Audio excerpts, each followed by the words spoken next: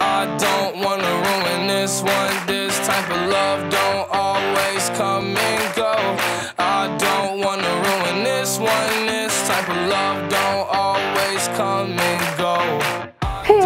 time for our first newscast of the year. As everyone knows, there are a lot of new things to get used to this year, and the counselors would like to remind everyone about checking your student email accounts on a regular basis. As Ms. Kirby says, email is your new best friend. Seniors, you need to see the emails that were sent out about joining Remind, along with those emails about senior interviews, part-time forms, and early out forms.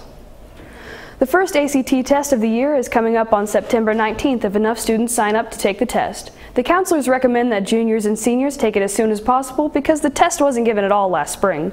If you need help signing up or paying for the test, email your counselor.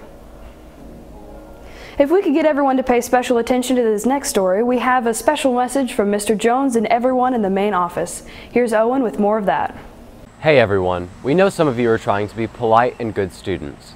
But with everything going on, the main office asks that you don't let anyone in the building who is not a student. So don't press the button to let them in. Sir, what is your name? Let the main office be the ones to do that. All right. The same thing goes over at the Career Center. Let's keep everyone healthy and safe. Back to you, Hannah. School Picture Day is coming up in a couple weeks. Interstate Studios will be here at the high school on Thursday, September 17th. Every student is required to have their picture taken, even if you aren't buying any pictures. Tryouts are being held for the flag line and color guard next week. They will be after school on Tuesday at the band building. That's it for announcements. Here's Zach with sports.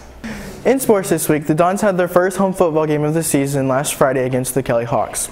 Kelly would get on the board first with a 42-yard passing touchdown. Later in the second half, Alex Harris would hand the ball off to Trey Mills, who launches it downfield to Rios for their first touchdown of the game.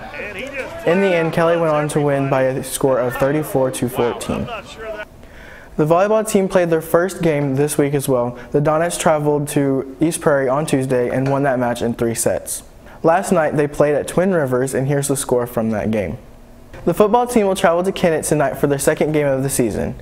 Next week, the volleyball and softball teams will have their first home games of the year, both against Twin Rivers. Volleyball fans may want to take note that the games this year will start at 5 instead of the usual 6. That's it for sports this week. Here's Olivia with the weekend weather forecast. It looks like it will be a pretty nice Labor Day weekend after all the rain this week. Saturday will be sunny with a high of 82, mostly sunny on Sunday and a high of 86, and then more of the same on Labor Day, mostly sunny and 86. That's our newscast for this week. Thanks for joining us and we hope you have a great three-day weekend.